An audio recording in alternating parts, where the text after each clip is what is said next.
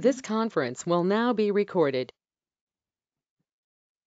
All right, and so we are going to talk about adolescent brain development um, and really kind of look at this in terms of how this affects kind of the programming and the things that you guys are doing with young people. And so I always like to start this by talking about the fact that adolescence is not a set time frame. It is not, you know, from 12 to 18. It actually is a process, and it's this process of moving from childhood to becoming an adult. And all of the emotional, physical, and social development that goes into that process. So it is a fairly lengthy developmental period. It has a lot of variability depending upon um, the young person and their experiences and the background that they have and the type of support that they have. Um, and even changes with um, history and culture because you know a long time ago if you were 18 you were um, on your own. You were working. You had graduated from high school. Uh, some people went to college but not very many. Most of them got a job and got married um, and started their adult life and that has actually changed there's i think maybe 15 years ago or so, they added a new developmental period called emerging adulthood. That's from 18 to 24. Um, and so, you know, it, this stuff even changes based upon what's going on in culture and society. Given that, we are going to look specifically at adolescence um, and talk about this um, in terms of what's going on in the brain, but also in terms of the two developmental tasks that are really kind of the focus of adolescence. And this is based upon Erik Erikson's um, psychosocial development theory. Um, he was the first psychologist who said that development happened beyond the age of 12. Up to that time, all of the developmental theory said, oh, when you're 12, you're an adult.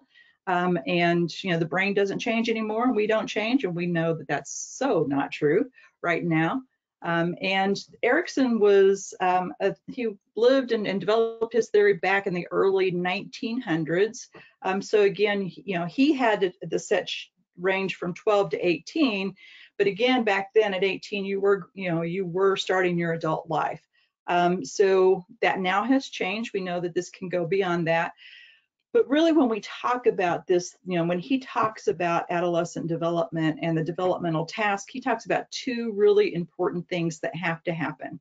Um, and this is about figuring out who you are and how you fit into the world. And he called this identity um, that you had to figure out, you know, what was important to you, what you wanted to do with your life, how you wanted to do that.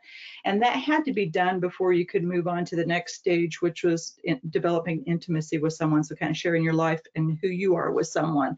And when we fail to do this, if you're familiar at all with Erikson, there always is developmental task and you either complete it, which is the identity, or there's kind of that you kind of get stuck, which for um, this would be role confusion, where you just really don't know who you are and what's going on.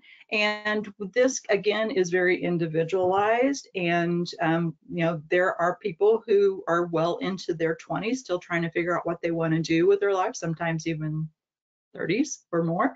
Um, they don't know, they just don't know because they've never actually resolved this. They've never gone through the process kind of thinking about it. And a lot of that has to do with um, just kind of opportunities and their environment and what they've kind of been forced into or not. So, you know, the two really big tasks when we think about adolescence um, is establishing identity and then developing autonomy. And we can see this if you, you know, I have four boys. Um, they're all adult children right now. My oldest is 34. God, it's crazy. Um, and my youngest is will be 19 this month.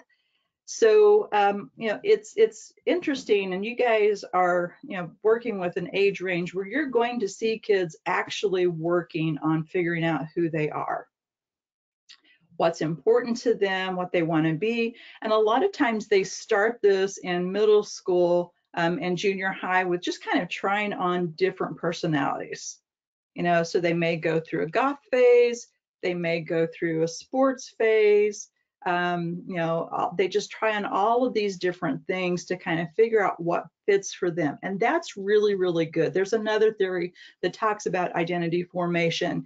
And, and you know, the basis of that theory is kids have to have a chance. We all have to have a chance to explore what we want to do and what fits for us before we really kind of settle and decide. Um, and a lot of times for adolescents, especially young adolescents, this looks like rejection of everything that um, their parents are because they don't want to be a repeat of you know who their parents are. They want to be their own person. And so this can be a really really difficult time for parents or for adults who've been close to this young person um, because they tend to pull away and they want to explore other things um, and I always would tell parents, you know, this is this is normal, and you want your kids to go through that exploration period. It is very uncomfortable.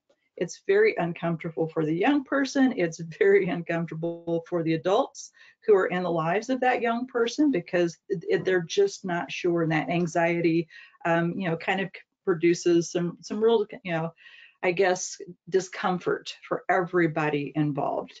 Um, but once they have the opportunity to do that, they can you know, try those different things on and they can kind of settle into who they want to be.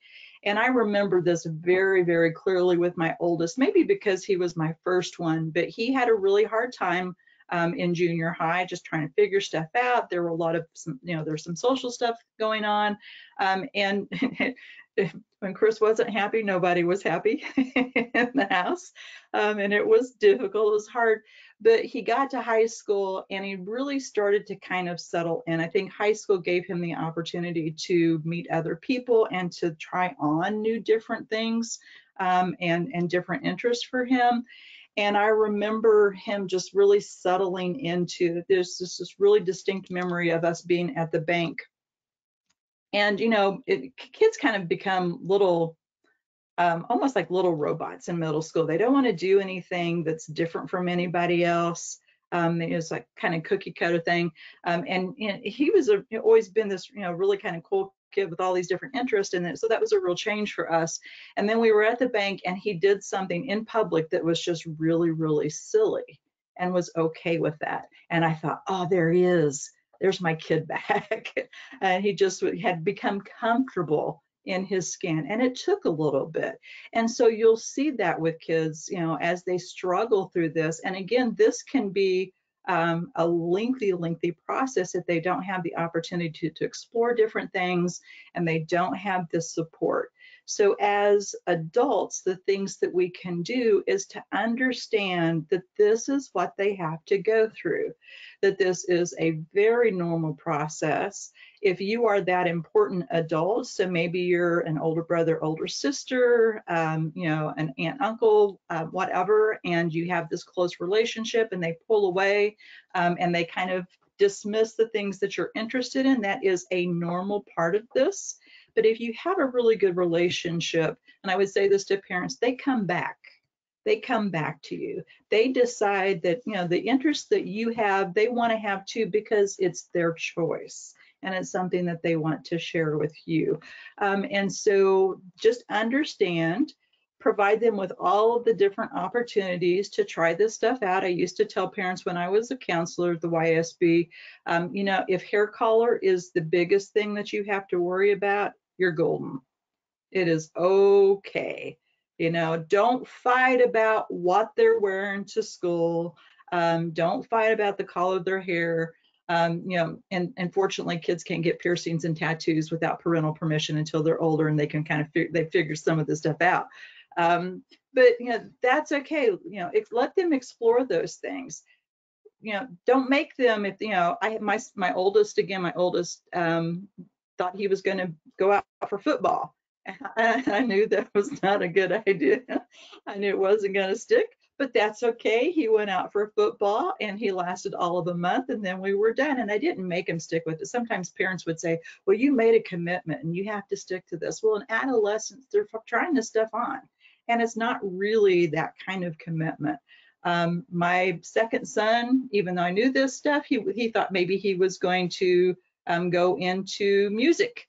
And so I bought a $500 trumpet that then sat in my closet for a year after six months. I finally sold it. Um, be, or, you know, because he decided, no, six weeks, wasn't even six months, it was six weeks. He's like, yeah, this is not for me. So he's, you know, rent the stuff, don't buy the stuff, um, but provide them with those opportunities. And you guys have the opportunity to do that at the shelter. Um, that's one of the things that I loved about being there. And I used to do programming we could provide them, sometimes we provide kids with the opportunities that they've never had before um, and bring people in to talk about their careers um, so that they kind of got an opportunity just to really kind of explore all different kinds of things.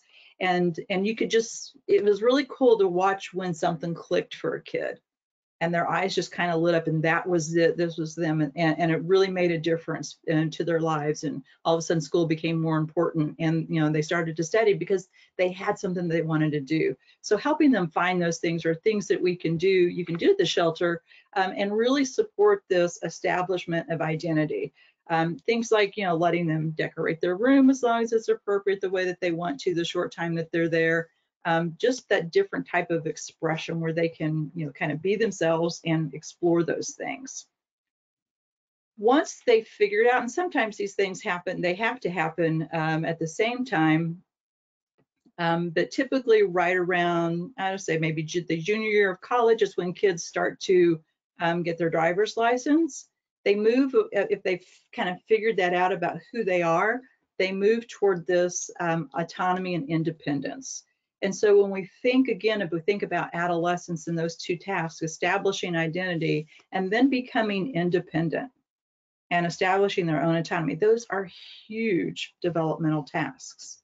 Um, and so kids have a lot on their mind. You know, and this is stuff that because you know it is something that um, we do as a society you know so you need to start getting a job. We start asking them questions. What do you want to do with your life? What do you want to do when you graduate? What are you are you going to go to college? What are you going to major in? We're asking questions that force them to think about this stuff. And i did not know this until maybe about nine months or so ago. Maybe it's been a little bit longer than that. But when kids go into when they start high school they have to choose a um, their their kind of graduation path, which I think is is way way too young, way too young because they're still figuring this stuff out. So they can kind of get locked into stuff, um, but they're you know kind of we're forcing that a little bit earlier. But they do want to kind of establish their own independence. We see this with older adolescents as they spend more and more time out of the house. Um, maybe they spend more and more time in their rooms and not with the adults in their lives because they want that space and they want that mobility because again they're figuring out how am I going to do this on my own? When I am you know when I don't have mom and dad to rely on anymore how am I going to manage all of this stuff? And so they begin if they can't um, establish that independence financially most kids are still they're not going to establish it in terms of leaving the house um, they so they can't establish that physical distance. What they do is they start to establish an emotional distance. And so they kind of pull away from parents as being the main primary emotional support. They turn to peers a little bit more. Um, and so again, this is very normal. This is to be expected. Um, I always would tell, you know, again, tell the parents, don't be hurt. This is what they are supposed to be doing at this age support that independence. When it, things are when they need you they will come back if you have a really good relationship um, and they do. Um, and so again we can support that as adults by providing them with that space by allowing them that mobility. There you know if kids are in the shelter and they are looking um, to get a job then we can support them in that job search and then how to um, not only get a job but keep a job we were always we would always practice um, interview skills, um, and kids would get the job and then they would lose the job because they would come. I remember this one girl. She would she she presented very very well. She got a job really really easy, um, and then she ran into trouble because she she came back and she would complain that you know, the supervisor kept telling her what to do. she didn't want to be told what to do. We had to talk about that. That's part of the job. That's what that person that person's job is to tell you what to do. Your job is to listen to them. Um, and so just working through all of these different things, um, allowing them again that personal expression when we can, um, and supporting them in ways to emotionally distance and, and safely try on taking on their own independence. And again, um, you know, whether that's through letting them take the transit to or from, you know, work or, um, you know, if they have to take the, the transit system from school to their job, um, again, allowing them that independence and figuring how to out how to do this stuff on their own in a very, very safe setting.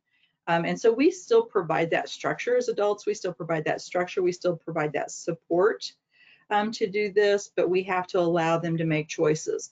And that's sometimes one of the hardest things to do as an adult is to allow that young person to go into a situation where they potentially could make a difficult, the wrong choice that would have consequences, but trust that we've given them the skills and that they will choose to do the right thing.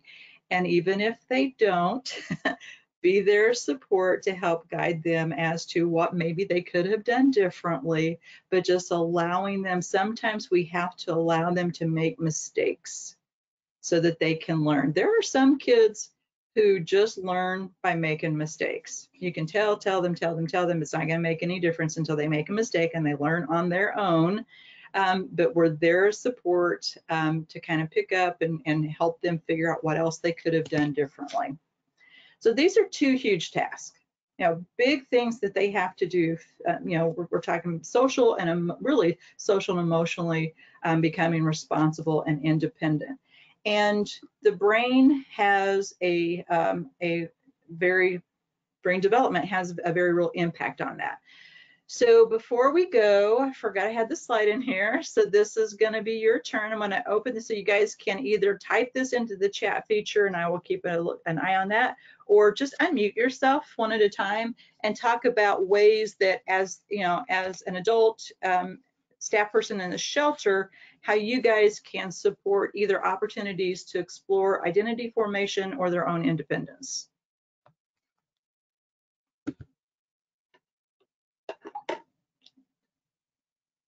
I would say with programming, um, I know COVID has put a huge damper on this, but we can continue to have um, outside presenters coming in, just kind of like you mentioned, introducing new careers, taking kids to Ivy Tech to learn about some things they offer, you know, offer there, IU, things they offer there.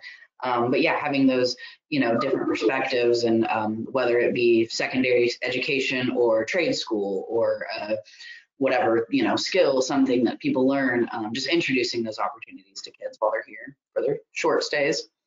Yes, yes, yeah. Thank you. Uh, Lauren said um, lead new focus activities. Ashley said opportunities for crafts and sports exploration. Um, again, visits to Ivy Tech. Um, so you guys are doing this. We've done this, you know, at the shelter um, for a really long time. That's just really a great opportunity that we have. Um, so continue to do those things. Look for other ways to do that. Let's see. Um, also modeling our own. Yes, different personalities and identities is a really good way to do that. If they you have good relationships, kids looked up to you, they do look to those older um, adult, you know, kind of older adults or peers to kind of think figure things out as well. You know, observational learning, how is this working for that that person?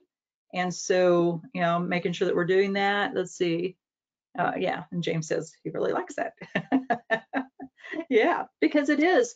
It's a great, and, and that's one of the other things. If you have a really diverse staff with lots of different interests and you bring those interests to the shelter and you share those interests with kids, it's just another way for them to learn about new and different things. And it may be the first time that they've had that opportunity um, to do so. All right, so let's dive into brain development.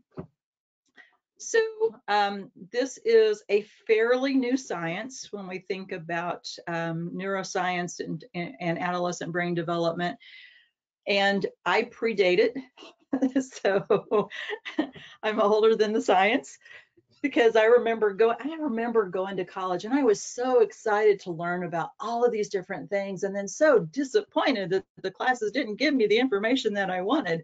Um, and so I've kind of kept up and dived in uh, dove into this stuff as it become available, but um, probably adolescent brain development really took off in the it started maybe sometime in the 80s, but it really took off in the 90s um, mostly because there was a researcher um, at, he's now at the National, he's like the medical and MH, I don't know, whatever, but he's somewhere, he's, he's federal um, scientist. And he was studying, his name is Jay Giedd, and he was studying um, ADHD and he was looking at brains with MRIs. Of course, we haven't had the technology you know, until the last like 30 years or 40 years or so to even look at the brain. Um, but he was using MRIs to look at the brain to see if how the brain of kids who had ADHD were different than the brains of kids who didn't or adults. And he really noticed that the brain of adolescents was just drastically different than the brains of adults. And before that, you know, it was kind of assumed that the brain was was the same. Um, if you were 12 or so, then your brain was the same because at age 12, your brain is the same. It's it reaches it, its adult weight. Okay, so you, your brain doesn't grow, it doesn't get any bigger in terms of weight, but there, the changes that happen inside the brain um, we did, couldn't see before. And he was one of the first to kind of notice this. And and he started to study this, so he dropped it. He really finished his ADHD stuff, but he really took on adolescent brain development, and um, and the the differences explained so much that this just science really took off. So we now know that the brain is not done at 12 all you have to do is raise kids to know that the brain's not done at 12 or be around kids to know that. But um, the brain is not done at 12. There are some really significant differences in an adolescent brain and the development that it goes through to reach adulthood. And this is not done until the mid, this says early, and the, the most recent research now says mid to late 20s, that there's still development that happens. And looking at the pictures in the gallery, it looks like we have some folks who are whose brains are still developing, who still fit that, you know, under, you know, that mid to, to late 20 kind of range. And the last part of the brain that develops is the prefrontal lobe. So the, the frontal lobes are right here um, in, at your forehead. They're responsible for all of our higher emotional um, control and all of what we think of as logic or kind of rational um, decision making, goal setting, priority setting, all of those things, all of that works in the prefrontal lobes. And this is the last part of the brain to development. And you go, okay, so that automatically makes a lot of sense, right? We know that the part of the brain that's the last to develop is the part that's responsible for impulse control and you know deciding right or wrong and understanding consequences um, then that kind of makes sense explaining some of this adolescent behavior. And the brain develops from the back to the front anyway. So the the back part of the brain is called usually called the hindbrain um, control it has all of those structures that control things like breathing and heart rate um, and you know blood pressure that uh, basically are survival survival skills. And then it, we go to the midbrain and the midbrain is is like right in the center of the brain. And that is where um, kind of homeostasis so body temperature weight um, motivated behaviors like eating drinking um, and, and, and sex behaviors are there in the midbrain as well as all of our emotions. That develops and then the prefrontal and then the cortex um, which is responsible for that higher decision making so kind of key is that when we reach adolescence, the part of the brain that is responsible for our emotions is fully developed, but the part of the brain that is responsible for controlling those emotions is not yet developed. We also have neural growth and neural growth is, it's super cool to see kind of the patterns of, so the neurons are the cells in the, in the brain. Everybody knows that, right? I don't know how basic to get. Um, but the neurons are the cells in the brain and they continue to grow. Again, this is something that we have learned in the last 30 years is that, you know, we don't have a finite number of neurons. They will continue to grow and develop as long as we are alive at different rates. But when our brains are, when we are um, in development, going through periods where we have to learn a lot, then we do this kind of abundance of neural growth. And so this is birth three months and 15 months, but we kind of see this pattern repeat itself over and over again, where we get this super abundance of neurons. Um, and at 15 months, what are kids learning to do? Typically around 15 months. That's like major developmental task. Ask my parents or any you know, early development people. What are kids? Talking? That's right, talking. Yay. And that is a huge, huge cognitive developmental shift. And the brain is ready for that. And so we see this kind of neural growth at, at toddlerhood. We see it again, four to six. We see it again at seven to 11. So that's like kind of the elementary schools. And then something happens in adolescence that's just a little bit different. We have that growth, like I said, um, from seven to 11. It typically is the temporal lobes. Temples are, you know, right, temporals right by the temples. That's why it's called that. Um, but this is the area that is responsible for uh, learning and our memories. In the temporal lobes, we'll find our hippocampus, and that's the part of the brain that really is responsible for all of kind of our school learning. And um, we do and we have that overabundance between 7 and 11 so pre-adolescence we get this overabundance because there's so much information that kids have to absorb. If we think about everything that you learn in elementary school you learn to read, you learn to do your basic math skills. We're also learning how to get along with others. So there's a lot of social development. Um, we're learning how to control our um, emotions. A lot of times this is the first time that kids really have to, um, you know, delay gratification to sit and wait. You know, they just can't go off. So lots of skills that they have to learn during this time. The brain's has that overabundance of neural growth so that they can actually soak up that learning and that can be solidified and we hold on to that. Um, and then we reach adolescence. And instead of, so we have, so this is at birth, this is at seven. So you again see that kind of dense neural growth that happens. Um, and then instead of this, you know, so we have that overabundance. And then when we get to adolescence, what happens is what's called synaptic pruning. And this is when every, all of those neurons, all of those connections that haven't been used between that 7 to 11 age, um, you know, and continue not to get used as you go into adolescence, begin to be pruned away. So this works at the same principle as gardening does. If we have any gardeners um, in the group, if you have a fruit tree, if you have a rose bush, um, it is very important to prune off, to clip off all of those dead, unused branches.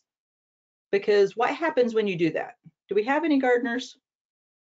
Anybody who knows what happens when you prune off even sometimes healthy branches?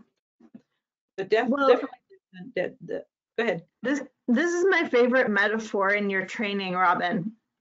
because you like for tomato plants, for example, um, the there's certain ones that if you don't prune them, then you'll have a lot less fruit on them. Um, because you or if you let um, half alive or or partially, you know, dead um, branches stay, then the plant puts so much energy into healing them that it doesn't have energy left for other things, which is a really awesome metaphor for thinking about brain development. Right, because and when you actually do that pruning, then what happens is what's left over is better, right? You get better fruit. If it's a rose bush, you get more, you know, prettier flowers that are more fragrant. Um, and so that's kind of the same thing that happens. That pruning happens in the brain to allow it to be more efficient.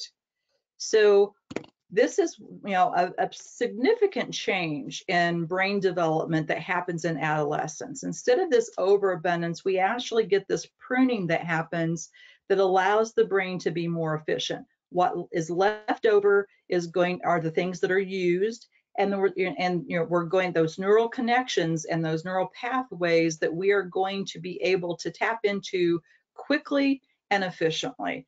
And this is going to be true for whatever focus we want to be, you know, we want to have. So I always joke that this is what my brain looks like in the math section um, of my brain, and this is what it looks like in the psychology section of the brain. I don't like math, so I don't use those. Um, so we got, you know, it's not really that bad, but you know, we do have, we hold on to those denser connections that we're using so that it is more efficient. And so you actually have a loss in the gray matter, which are the neurons of the brain um, in adolescence. Now, what, what you what that's replaced with is what's called white matter, which are all of the uh, um, kind of support cells in the brain. They're usually called glial cells that allow us to function more efficiently. Um, so what we want to do as adults is we want kids to hold on to those connections that allow them to be successful. We want to capitalize, again, back go back to those opportunities on the opportunity to learn how to cook. This is why we really should be introducing foreign languages in elementary school. Don't wait till don't wait until high middle school, junior high, or high school because it's harder to hold on to that stuff after that. Introduce it early. Um, music, whether it's arts, it could be you know crafts, it could be you know kind of hands-on stuff. Introduce these things early so that they're actually utilizing those brain structures um, and those neural connections, and they're going to hold on to that information um, so that the really important stuff that we want them to know, um, and this is going to work in terms of emotional control, in terms of interpersonal skills and communication skills. We want to practice this stuff and give kids the opportunity to do this stuff um, on a regular basis so that they hold on to that information and, and I, you know, I, I, I am going to, I didn't normally do that. I normally do this at the beginning, um, but this is all based upon kids who come from a supportive, nurturing background. So trauma is, if you've got a kid who comes from a trauma background, this is going to delay all of this stuff. So just kind of understand and know that. Um, but we can still provide these opportunities for to, to create that growth and to maintain those. Another change that happens in the adolescent brain um, that we can take advantage of is something that's called long-term potentiation.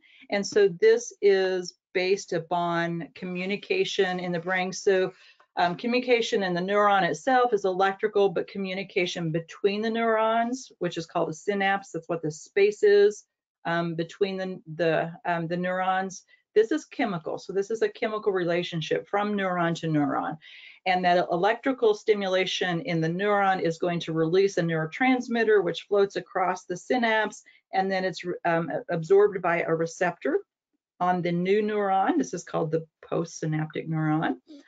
And then it's going to trigger that kind of electrical um, communication in this neuron and it just kind of passes on, passes on that way. Long-term potentiation is when we are using those parts of the brain when we are utilizing on a regular basis that neural pathway, the neurons that are um, along that neural pathway, whether it's for math, whether it's for reading, whether it's for, um, you know, a, an artistic skill, whatever, um, then they, they, after stimulation, this is repeated stimulation, we actually grow more neuro, neuro, um, neurotransmitters to be released and this postsynaptic cell actually grows more receptors. And so this is going to speed the communication between neurons so that you have kind of, um, again, it's going to take less information. There's, um, and they're just going to be more receptive and they're going to be more connected. So it doesn't, and, and they're going to be able to communicate more. Now, what's interesting about long-term potentiation is this does happen kind of, again, very naturally in adolescence. Um, it can happen at any age with repeated stimulation. So the more you use that neural pathway, the more it's going to look like this as opposed to this. Again, this is my math and this is my psychology. Um, but the more you use it, the more you're going to be able to stimulate that um, communication between neurons. But this is very susceptible to, I don't remember what my next, yes, okay. It is very susceptible to risks. So long-term potentiation um, can be influenced by external and internal um, threats, such as alcohol and marijuana um, stimulants and attention deficit. So ADHD um, will affect how receptive our neurons are, how receptive they are to releasing neurotransmitters, how receptive they are to accepting things. So, um, you know, and um, typically alcohol and marijuana are going to depress the um, long-term potentiation effects on both neurons and not just one. Stress also affects long-term potentiation and gets in the way. All of this stuff gets in the way of long-term potentiation. Sleep deprivation, multitasking, most of these things, again, are going to depress the activity of one or both of the neurons in this process. The only thing that's different is nicotine. And what nicotine does is it actually creates new receptors in the brain specifically for nicotine. Um, so, and it does this at um, an exponential rate in adolescence than it does in any other time. So I always talk about the 5, 15, 25 rule. And this is true not only for nicotine, but also other substances. Anyone remember?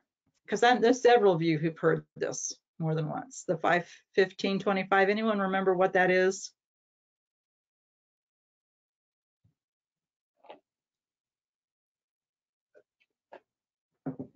Apparently not. I, I can't remember. I just know the gist was don't smoke. That's, that was what I remember. But I do, yes, I do remember hearing that from you. yeah. Uh, so, so the rule is if you start a substance at the age of 15, you are five times more likely to become addicted to that substance than if you wait until 25 to start it. So again, if you wait, if you started at 15, you're five times more likely to be addicted than if you wait until you're 25. And all of that has to do with the vulnerability of the adolescent brain and the fact that there are significant changes that are going on in this time frame that have lifelong impact. So if you think about you know people who smoke and who struggle with um, you know cigarette nicotine addiction, um, a lot of times when you ask them when they started smoking, they started smoking as teenagers and it becomes much more difficult to to kick that habit um, if you started at an earlier age than not. So all of these things get in the way, and it's important to help kids understand this that you know what's going on in their brain and what they do during adolescence um, can have lifelong impact. All right. So the last like real change that happens in the adolescent brain that's different than other developmental periods is the fact that all of this synaptic growth that I talked about um, is in the adolescent is excitatory.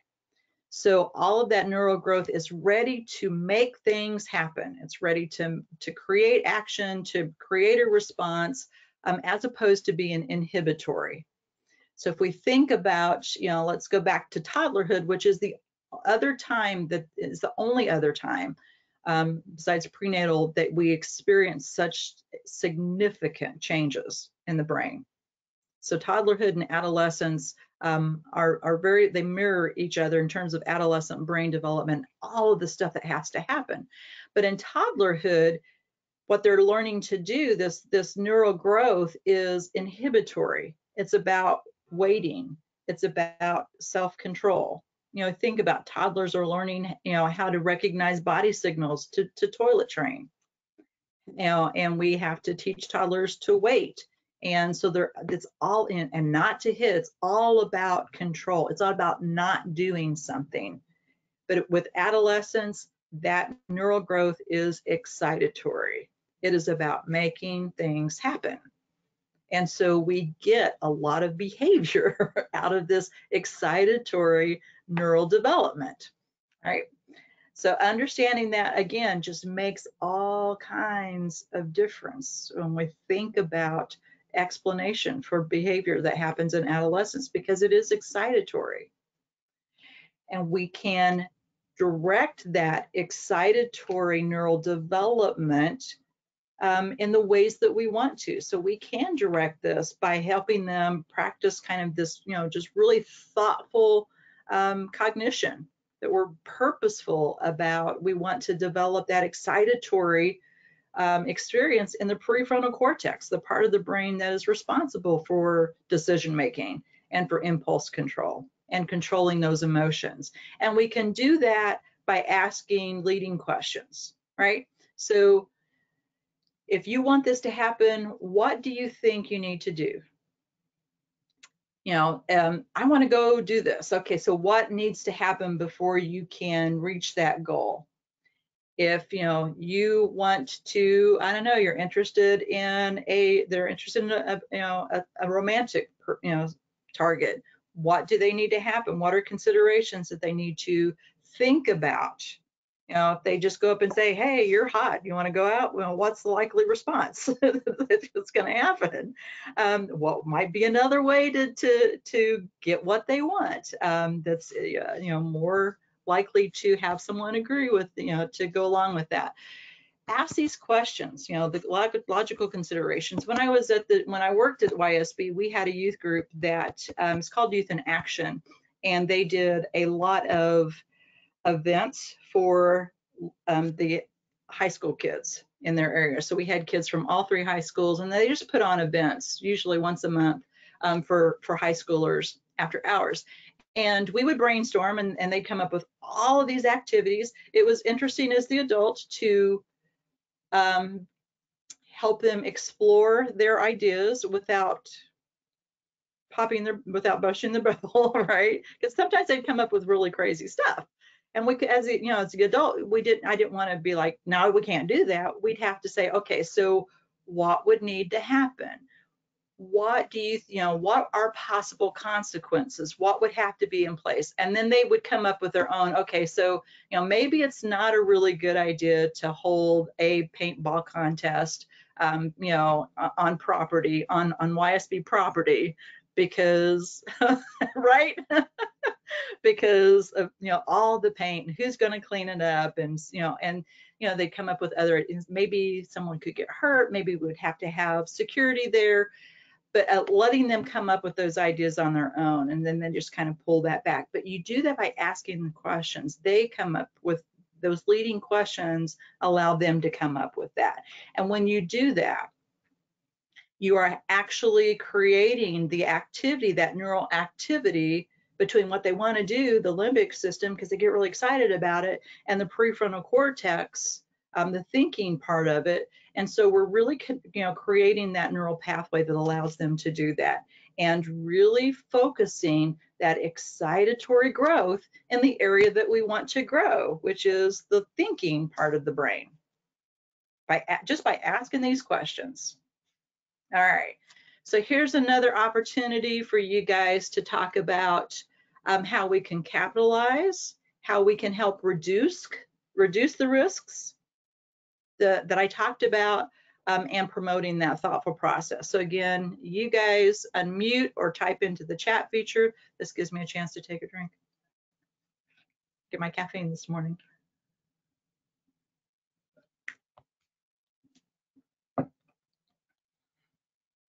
All right, it's got something in the chat feature.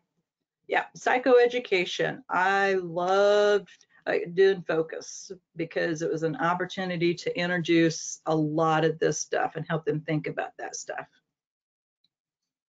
What else?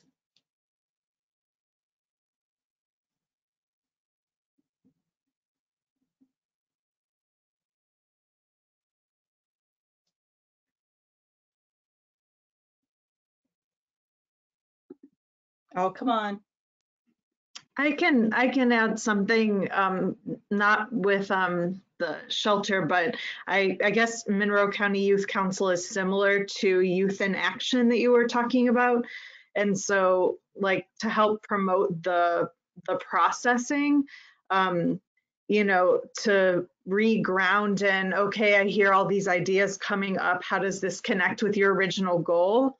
Because of that yeah, that all those great ideas they can take take you far away from what you were originally planning. So I engaged in some of that in a in a meeting yesterday. Absolutely. Ashley also puts allowing input or control when possible. That is huge for adolescents. Remember, they're working on autonomy and independence. And so that will really grab their attention. Um, James says asking them how well a, similar idea they tried worked out. Um, and so again, just yeah, and, and maybe you know what else they could do differently, implementing these opportunities to learn daily skills. That was always something that was really interesting when I was at the shelter, um, you know, because sometimes it was the first time kids ever had um, more than just a blanket and a pillow to sleep on a mattress. So, you know, making beds and how to cook and all of those things.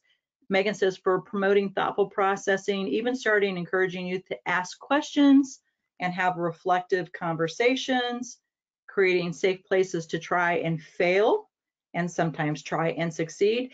And Lauren, that's a great, great point because we think if we fail, it's done, and that's not true. Failure is the opportunity to learn and to try another way. And as adults, I think we often try to make sure kids succeed every time. And that's, folks, that's not the real world. that is just not the real world.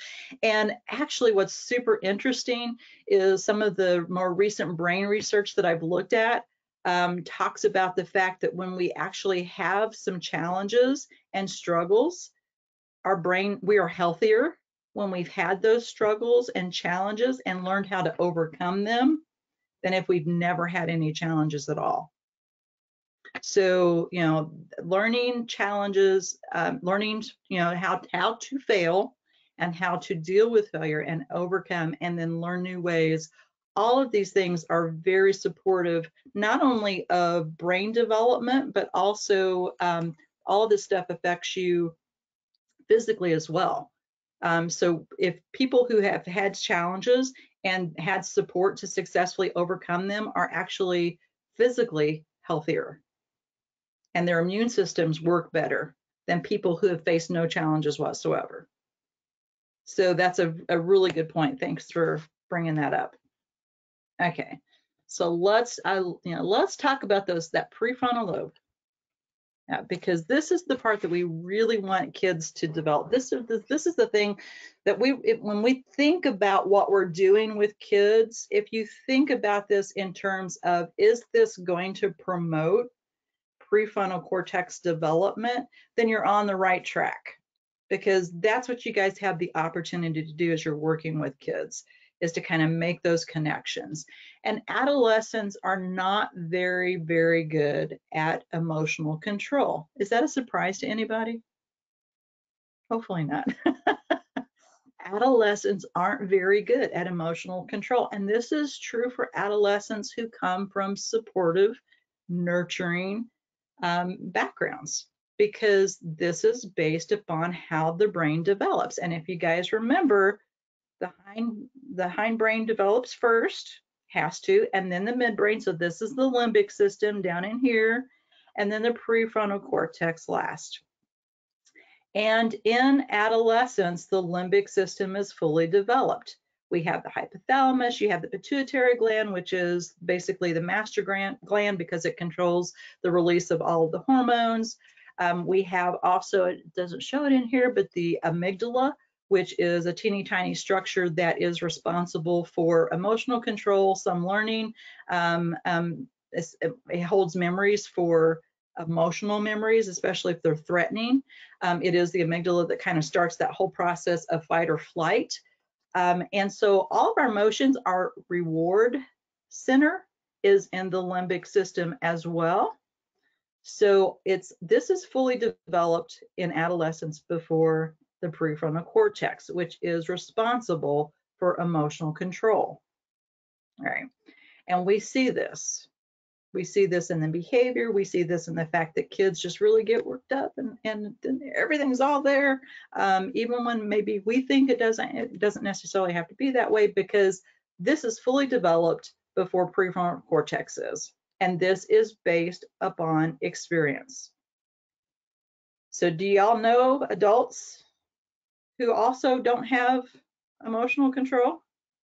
It's because they haven't had the experience to learn how the, to develop prefrontal cortex um, to allow that. It's based upon experience. So as I said, the amygdala, this teeny, I can't see, here we go, right here. It's on the end of the hippocampus. It's a teeny tiny structure. I actually have two, one in the left hemisphere and the right hemisphere. But it's responsible for processing sensory information and assigning it emotional importance. Is this information coming in that is something that I need to pay attention to because it potentially threatens me. It potentially threatens my survival. It potentially can create harm. It potentially can lead to rewards and something that is in my benefit.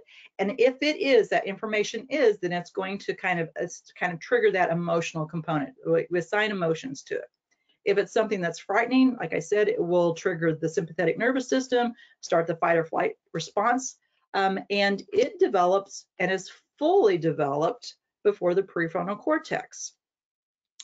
I will say that for young people who have a trauma background, who have come from homes that are abusive, um, this is more fully developed. It is bigger. The amygdala is bigger. It is more responsive. And, and that's because it's had to be. If they come from a, a background, a home that has been abusive, the amygdala has just had to have had to pay more attention and it has more things to worry about and so it's going to be bigger and so you get that immediate kind of emotional response what we see because of this is a lot of really what we consider dramatic behavior from teenagers right? Things are the best thing in the world or the, the absolute worst thing in the world. And that is because, again, this is fully developed and teenagers experience emotions more intensely than any other age group because of this, because of that really rich development and that excite again remember it's excitatory development so when they experience stuff, it really is the worst thing in the world or the, the best thing in the world to them because they experience this so much more intensely. And emotional states, especially negative emotional states, last longer in teenagers. So it takes them longer to get over things because this area is fully developed, it's fully responsive, it's overly sensitive, um, and you get these behaviors. Teenagers are also very egocentric, and what that means is that it's they're self-focused, and so you often will get um, kids who say you can't you can't possibly understand. There's no way you understand. You know, this is they feel like things are very specific to them that no one else feels the same way that they do. Again, they don't have that opportunity to engage prefrontal cortex and kind of see patterns of other people's behaviors. Um, and so they feel like no one can possibly understand that everyone's looking at them. There's this heightened level of self-consciousness. This is particularly true um, in um, element or middle school age, right? Junior high. They feel like everybody's looking at them, everybody's judging them, and no one can possibly understand. And so that is a, it's they have all of these overwhelming feelings um, and they feel isolated because of this personal fable, because they feel like no one else understands or could possibly know what they're going through. So what can we do? As adults, one of the best things that we can do is listen. And I mean, and I mean really listen. Don't try to fix stuff. Don't try to make them feel better Um, you know, don't, you know, when kids are talking about, and it's hard because when kids are talking about difficult things, it's hard for us to hear. Um, but sometimes they just need us to listen. I'm a fixer. I think most of us in this field are fixers. That's why we're here. Um, but sometimes kids just need to express and they just need to to kind of be out there. And sometimes silence, your your presence, but your silent presence is the best thing that you can give them because they feel heard. They don't feel like it. Sometimes when we try to fix things, that sends the message that something's wrong and something's wrong with them when really they just need to express stuff. Um, so really be there, be present in the moment, turn the cell phone off, um, you know, just kind of pay attention to them, listen. Sometimes you can reflect back to make sure that you are understanding things correctly. Um, that shows them that you are really listening. It gives them the opportunity to correct you if you're um, understanding something, you know, in, in, incorrectly. So it just kind of be there with them and let them um, kind of talk about it and express stuff. I, like I said, I'm a fixer, so um, I always with my boys have to ask, do you need me to, do you, do you want solutions or do you just want me to listen? I have to ask that question because I tend to want to give solutions and give advice, but sometimes they don't want that.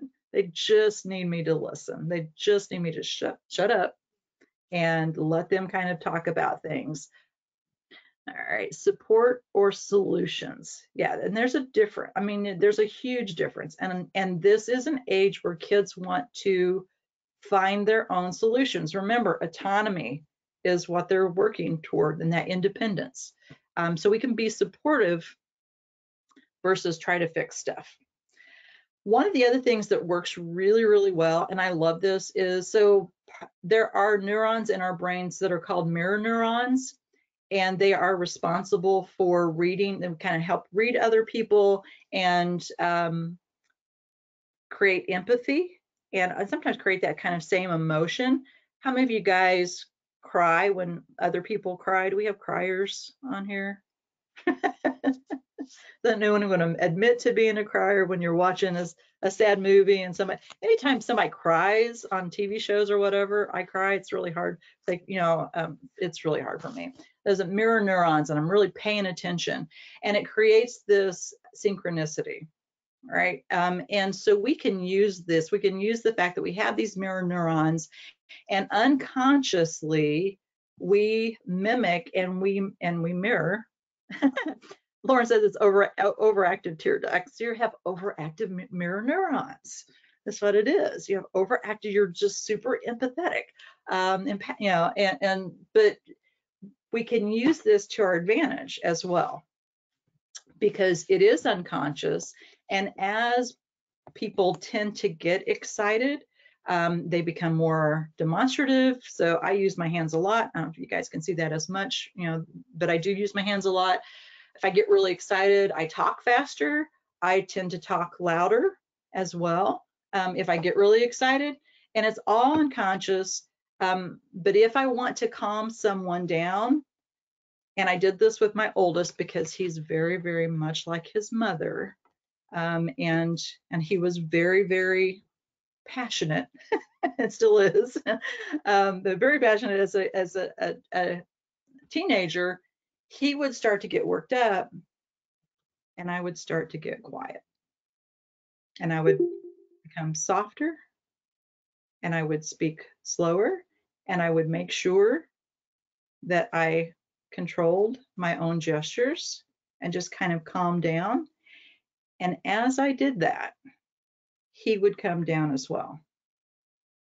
So when you're working with people, if you're working, and this is true for anybody, does not just kids. If you're working with someone and they really start to get worked up, and you know that they're really starting maybe to to kind of get really upset, we can use the synchronicity to kind of bring them back down. It happens unconsciously. They don't. They're, they're not aware of it. But as we get quieter and as we get slower, then they'll kind of calm down as well As we get excited, other people get excited too. So we really do match that and we can use this to our advantage. We can create this downtime, right? You have to have, because it is exhausting to think that people are looking at you all the time, um, you know, to kind of feel like no one else understands. That's not a, a fun place to be. So kind of creating that downtime for kids so they can just kind of chill and then help them find if they're you know maybe they come back from school and they you know they're upset because they think that somebody's been talking about them. Um, just again go back to that thoughtful processing and help them explore. Now how do you know? You know what was going on? What made you think that? What what might be other explanations? Because they tend not remember they're egocentric and they tend to think it's about them when it could be about something completely different that didn't have anything to do with them. So sometimes we have to move them out of themselves to help find those alternative explanations. Because they're not very good at reading emotions, um, again, it's prefrontal cortex um, where we're reading emotions of other people. Um, oftentimes kids get, they read people wrong, right? Or maybe they are not really sure. And when they're not sure, they tend to make negative assumptions. So this is a famous um, experiment where you know you just kind of a neutral face and then you slowly introduce um, a facial expression and then you, know what is this person feeling? It takes adults to, typically adults here can you know can say oh this is a sometimes adults say this is a happy person this is a fearful person. It takes adolescents much more facial cues. They get needing many many more cues to understand what the emotion is. And again prefrontal cortex. I will say one exception might be kids who um, suffer from uh, who come from backgrounds of physical abuse because their environment makes them read emotions well, so they actually are really good at it. But otherwise, teenagers are not, and they just need more cues to understand what someone else is feeling. And when they don't know what it is, they assume that it is negative. So I always tell folks you might as well be genuine because even if you are trying to be neutral, kids are going to read you as negative anyway. And I tell this story. We had a staff person at the shelter when I was there, and she worked overnight, so she worked the hardest shift. Um, she had the two biggest challenges getting kids to go to bed and getting kids to get up. Those are the two biggest challenges, and she had to deal with both of those things as you know working overnights um, full time. And she really prided herself on being just really neutral, treating everybody the same way. She really wasn't she wasn't an emotionally um, demonstrative person anyway. And so she was hard to read because she just always had this really flat affect. And kids would fill out the um, exit interview, exit questionnaire um, for us, and unsolicited, they would always say that she was their least favorite staff person unsolicited. We didn't ask that question, but kids would just write that in. And it always broke her heart. She's like, why? I treat everybody the same. I don't get upset with people. I don't get, you know, I don't play favorites, you know, so she, and it just killed her. And, and then when I did this training for the very first time, I mean, you literally saw her face just change because this was, it's like the light bulb came on for her because she was neutral and kids read her negatively because of that. And so she became more real with kids. And when she was upset with them, which you know it, it's it's easy to get frustrated with kids who won't go to bed or kids who won't get up she you know she was real with that and those statements went away because kids didn't have to guess they knew and it was better if they knew even if it was she was frustrated with them it was just a better place to be because we don't we don't like um, to, the unknown. And so it was easier for them when she actually was genuine. So we might as well be genuine and demonstrate for kids how to handle those negative emotions. I'm really frustrated with you right now. I'm really angry with you right now. I'm not going to scream at you. I might have to go take a break and then we'll come back and talk about this. But sometimes that's the first time that kids have seen that. So modeling those behaviors helping kids understand what the emotions are. Um, so when I did focus, we would do emotional charades, and I just found this. You can find this on uh, on the internet. I printed it off, cut it up. They'd pull it from an envelope, and they'd have to act out these emotions, and the other kids would have to guess it. Um, and some of them are hard.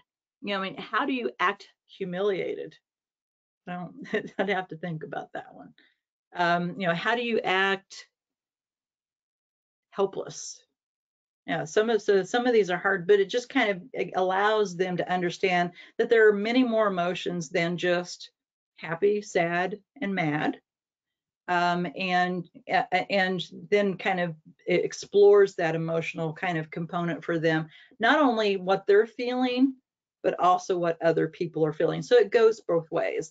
And this does take practice. And I will say that we allow females to, females are better about this because as a society, as a culture, we allow females to express more emotion than we allow males to express emotions. Guys can be happy, but not too happy. Don't be too happy. And guys can be angry. Um, and that's really about it you know, and and this is so screwed up, in my opinion. Um, now, females can't be mad because if we're mad, then we're bitches. The you know the B word. Sorry. Um, you know, so that's we can't we can't be mad. But you know, there are you know kind of impositions of society around um, emotional expression. But I will say that boys carry that kind of burden a little bit heavier um, toxic mas masculinity, absolutely.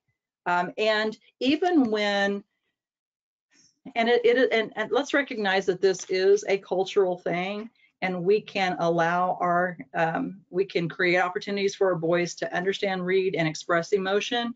Um, but when they go out in the real world they're still going to be penalized for those types of things. So just recognize that our, our young our young uh, men carry that extra responsibility. And then i think it becomes more important that they have a safe person and a safe space to express those where they don't have to question that um, so, you know, I, I do think that that's important. All right.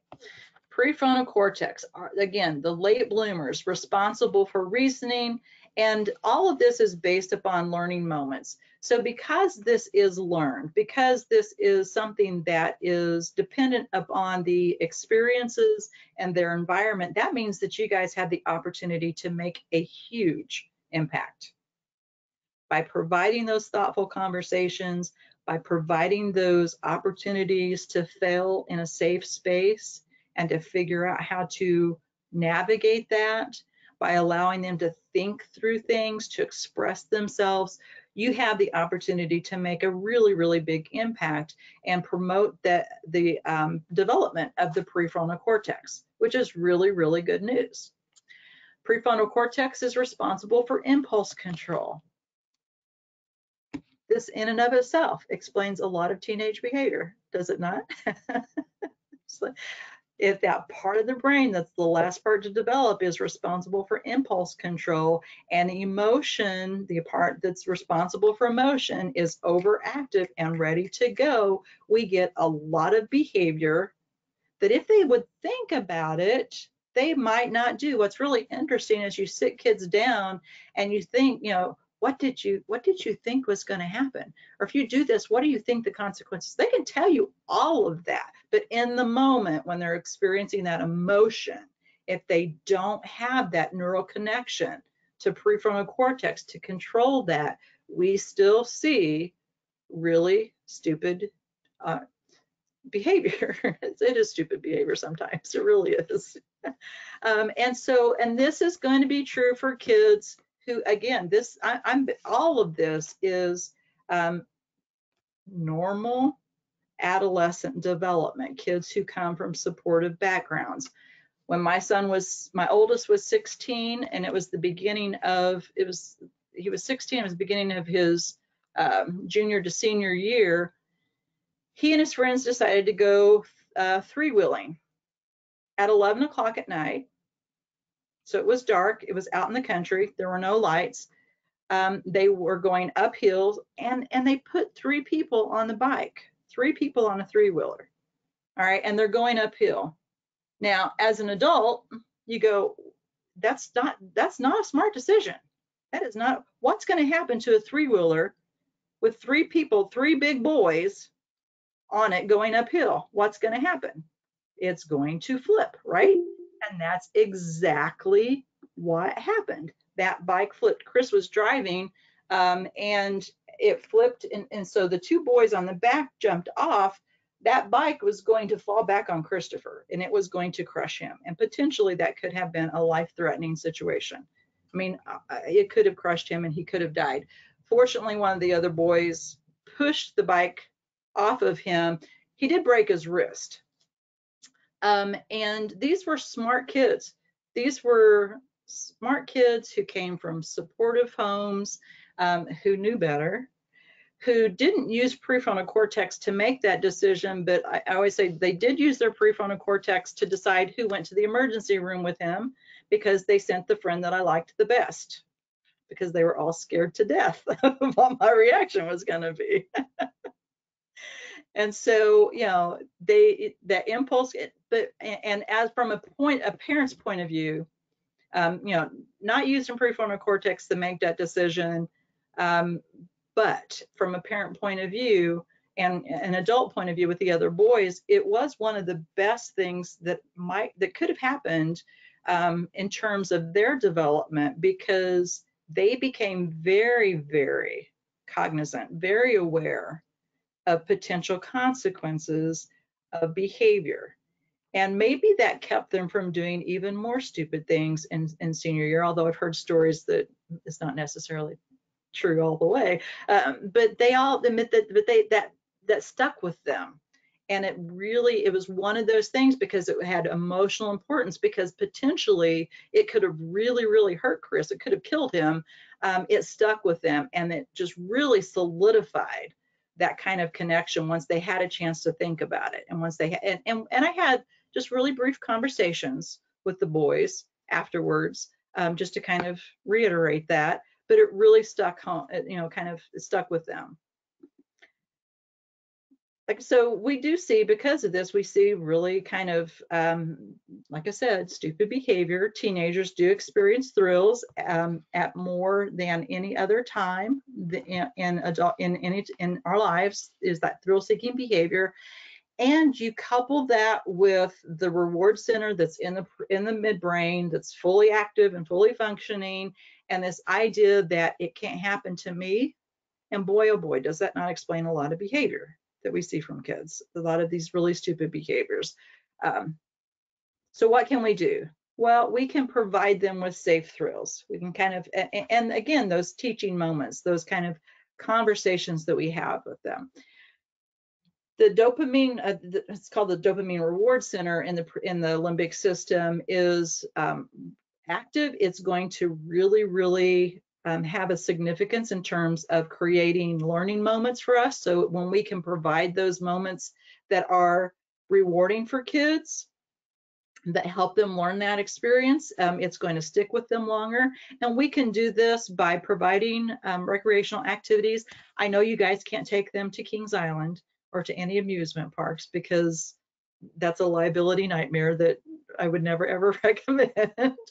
but you still can provide them with you know fun things to do, things that they like to do, recreation that, that that's physical as well. Um, anything that's new also will kind of help us pay attention. It gets our attention um, and triggers that kind of activity in the midbrain. Um, and so introducing them to new things, or even during focus, um, just pushing them again safely, just a little bit beyond that comfort zone. It triggers that activity in the prefrontal or in the limbic system. Um, and then we introduce skills while we're doing that, and it creates that pathway to the prefrontal cortex, um, which again is one of the reasons why I really liked doing focus because it allowed me opportunities to do all this stuff to provide them with new ways of thinking about things, to, to safely push them beyond their comfort zone so that they could learn new skills um, and, and really, really enhance development of prefrontal cortex. prefrontal cortex is also, I mean, yeah, get the idea that this is a, a really important part of the brain, right? Because it helps to determine right from wrong, cause and effect, and making sound judgments. And let's remember that this doesn't fully develop in supportive environments until the mid 20s um, and sometimes even late 20s. So, you know, there were times when I was the assistant director that I had to have conversations with staff members about some of the decisions that they made. So uh, Vicki says, okay, Vanessa's computer died. um, so there were there were times that I had to have, you know, conversations with staff members. I remember having a particular conversation with a staff member. It was a part-time um, weekend staff member who thought it would be a good idea to let the kids play hide and seek outside at night. Yeah, Vicky's going, oh, that was my reaction too. I had to have a conversation with a staff member who forgot their phone and drove the van with kids in it to their house to pick up the phone and left the van running when they went into the house. I'm like, oh my God. Okay. some of you are going, oh my God, you're absolutely horrified.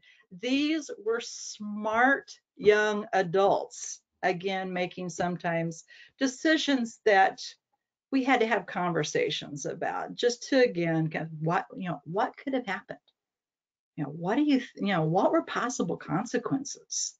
And just to kind of think through those things um, and so we we will still see some really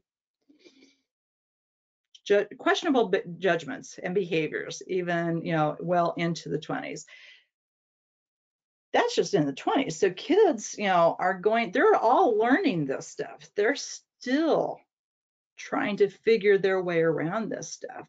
And because they don't have this fully developed, um, they will kind of see things very black and white. They tend to have, teenagers tend to be very idealistic um, and have a sense that the world should be this should be this way. And when it doesn't, something's wrong. Um, and so they have a strong belief in individual rights, which makes sense, right? Because they're focused on autonomy and independence. They're very, very quick to see the inconsistencies in our behavior as adults and fail to see the inconsistencies in their own behaviors. Again, because you know it's easy to see something outside than to look in um, because they understand that there are multiple ways to do this. As cognitive development happens, they will question why we do things the way that we do. And it is a um, developmental research fact that seeing gray, that ability to see gray and not black and white, doesn't really fully develop until that emerging adulthood stage. So not even really until like 18, 19, 20, up to 24, you know, that's when we really begin to understand that the world is not black and white, that there are gray areas and, you know, and things change depending upon the situation. So these are all things that they have to learn. They're very stuck in that, you know, you guys, you guys ever hear it's not fair? That's not fair. That's that's because they're very stuck in black and white. They're very stuck in this. This is the concrete way that it should be because they have that difficulty seeing gray areas. So the more that we can talk them through this stuff, again, the more that we're going to be able to develop that prefrontal cortex. Um, and we can do this by, you know, again, remember it's excitatory. So let's use this to, you know, to gear them toward social activity, you know, socially responsible activities. We can do things like community service projects or service learning projects.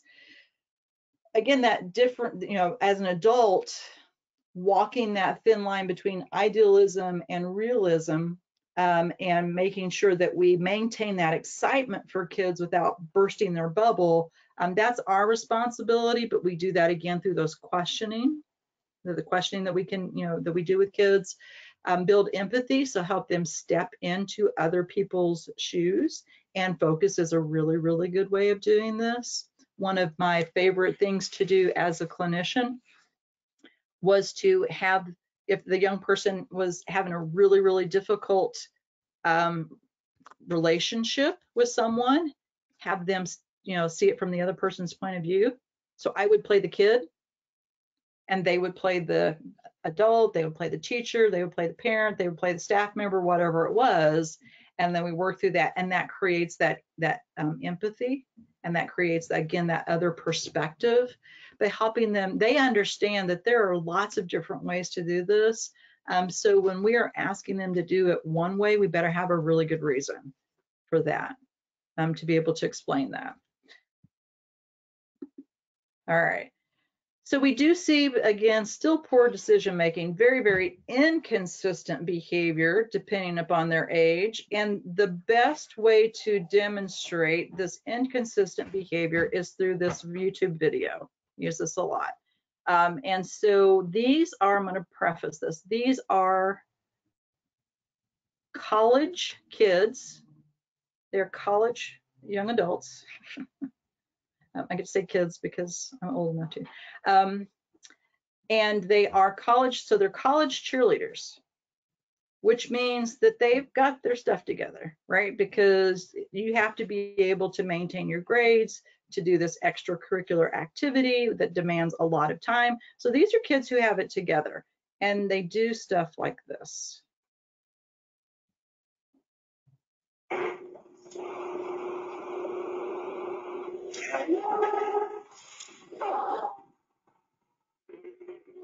Just play it again. Watch this. What you miss is her saying, "Do you think this is gonna work?" Which I'm always like, if you if you have to, probably not a good idea. What you also don't see is she hit her head on the way down. I don't know if it plays, but if you play this further, you know, she'll hold her head. The guys are so busy celebrating that they fail to recognize that she hit her head on the way down. One guy goes over and says, Are you okay? She goes, I think so. And then he goes and chest bumps the other guy. So he goes back to celebrating. Again, college age, young adults who have lots of skills, um, but the potential for what could have gone wrong in this scenario is mind boggling. And so you still get kids who will, young people, um, young adults who will still make fairly bonehead decisions. I don't know how else to say that. Questionable decisions. Because, oh shoot, that's not what I wanted to do.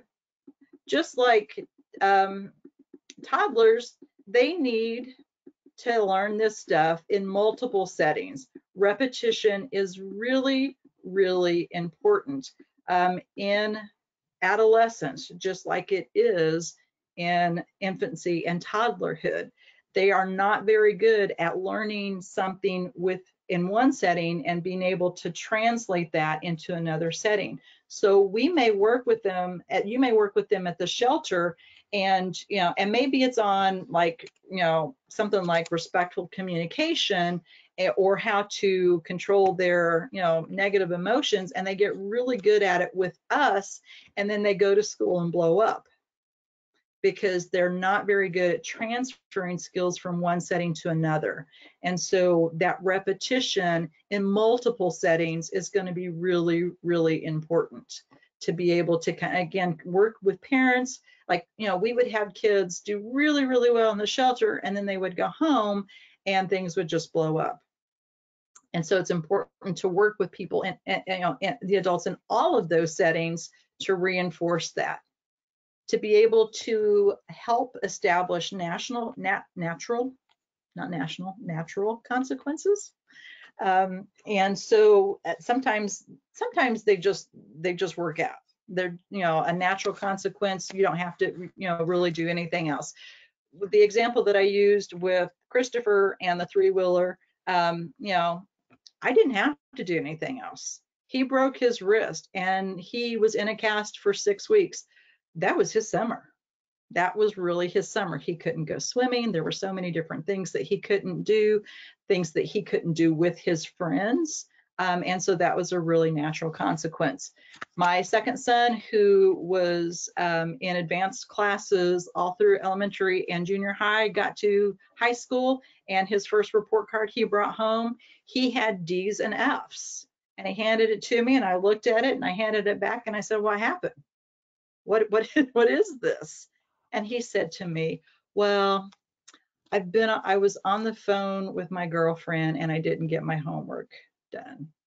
I've just because I was on the phone with her and so I didn't have time to do homework. Well, a very natural consequence then is for him to lose some phone time. Actually, he didn't even lose phone time. At 8:30, he was off the phone, so he had time to do homework. Uh, that was a really natural consequence, and he brought his grades up.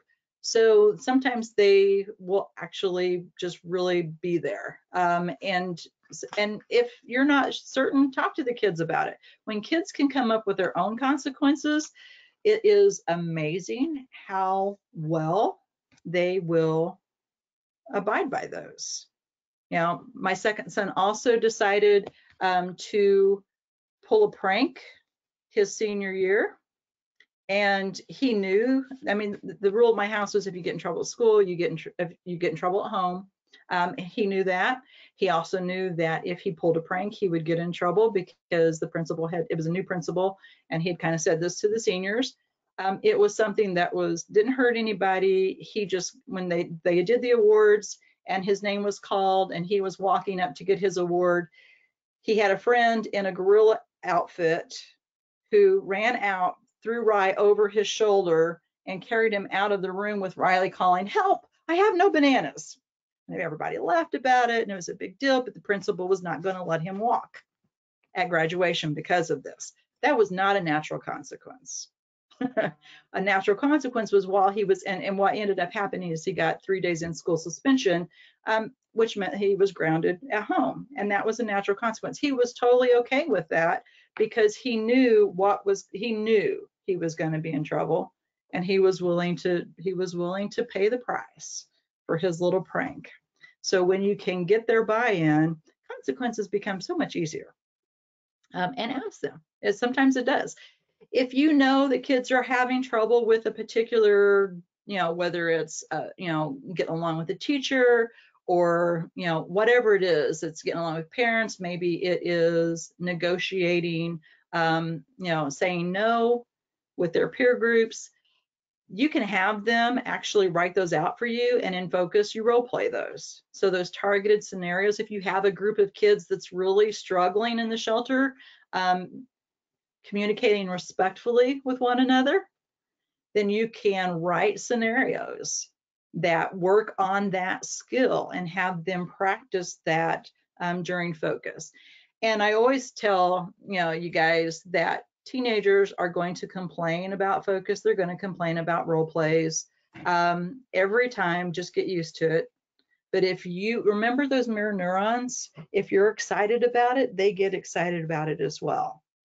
And so, you know, I had a staff person who hated doing focus and I would and and he just didn't do focus because we actually changed the time that focused happened because he would go in and go, okay, guys, it's time to do focus. Let's get this done. Do you think those kids got anything out of that? Absolutely not. But I had another staff member who loved to do, actually I had several who really, really loved to do focus. I like to do focus myself. Um, and when you get excited about it, they get excited about it as well. So they will complain, but oftentimes when you're role playing those targeted scenarios that are real to them, that have meaning to them, then they're going to really get into it and they learn a lot from that. Um, and there were there were a lot of times that the kids weren't ready to stop focus when it was over just because we got we really got into it. Um, and so take advantage of that. Take advantage of your passion um, and use things that are meaningful to them to get that lesson across. All right, so we're getting close to the end. Uh, I want to talk about some general implications around adolescence and brain development. Um, it is really, really important to encourage healthy sleep habits. And teenagers have different sleep cycles than adults do. Um, typically speaking, the all of the the triggers in the brain that cause you to get sleepy so melatonin your body temperature drops Um, all of that stuff doesn't happen until two hours later for teenagers. Um, so they're not even really ready to go to sleep and not even sleepy until about 11 or 12 o'clock. Um, and unfortunately, we have to get them up at what six o'clock to get them off to well when they're when they go to school. We have to get them up early so that they can have time to get ready, breakfast, all that kind of stuff. So you know when we can't let them get their nine and a half hours that they need, and that's what adolescents need is nine and a half hours of sleep. Um, then you can't allow makeup sleep. So we would always let them sleep late in on late on the weekends. This stuff can be shared with kids all of this stuff they've talked with you in terms of brain development, the effects, um, all of the changes can be shared with the kids because when they know this information, particularly when they know information about the things that get in the way of, of brain development, um, you know, they can we can help avoid them. We can introduce coping skills to reduce stress. Um, we can tell them about the consequences of introducing substances um, during this critical adolescent brain period. So share that 15, um, 5, 15, 25 rule. You guys remember it? Who remembers the 5, 15, 25 rule? Come on, somebody remembers it, They're don't you? five times more likely to get addicted if they start at 15 rather than 25. Yes, thank you. Is that Lauren? Yeah. Yeah, I, I I only see it as like a small group of folks. I didn't see, but I I recognize your voice. Thank you. Yes. So share this information with them. And then of course we have the opportunity to help you know, introduce those coping skills, how to relax. I mean, you know, breathing makes a difference. And if we if we teach them nothing else, teach them how to deep breathe because that does turn off that um, stress response and will help calm us down. So just deep breathing, which is belly breathing. And the key with deep breathing is that you do it for at least 90 seconds. 90 seconds is typically what we need to do to change brain patterns. So deep breathing for 90 seconds and your exhale is longer than your inhale. And those are, that's it. That's the key factors for deep breathing. At least 90 seconds with your exhale being longer than your inhale and that will turn off that stress response. It will allow them to access prefrontal cortex. Um, so, you know, lots of things that we can help introduce those. Um, I have, uh, I think some of you guys participated in the um, staff development retreat that we had virtually back in October, where I did a, a workshop on, on on those types of strategies um, to help build resilience, and and they're all easy to do. Um, so if you guys want more information, Vicki can let me know about that, but just share this information with them. So here are some of my resources, um, not nearly as many as I use. I have a lot more. I probably need to update this, but we have uh, some time if you guys have questions. If not, I am, this is, I'm done. That's my presentation. I want to thank you guys for allowing me to share this information with you. Um, if you didn't pick up with your mirror neurons, I really like this stuff. I think it's super important. It explains so much, and I think it allows us as adults to interact more appropriately um, with kids when we know this and we can structure our activities and our interactions really with the purpose of developing that prefrontal cortex and allowing kids um, to have opportunities to learn to do that. Do we have questions? You guys can unmute or use the chat. Just thanks for the emphasis on mirror neurons. We uh, like them over here. They're so important and we can use them to our advantage. I don't have a question, but as a first timer, I really enjoyed the presentation, so thank you. Oh, you're welcome. Yeah, that's good to hear. All right. Well, I don't have anything else. Um, I'm going to stop the recording.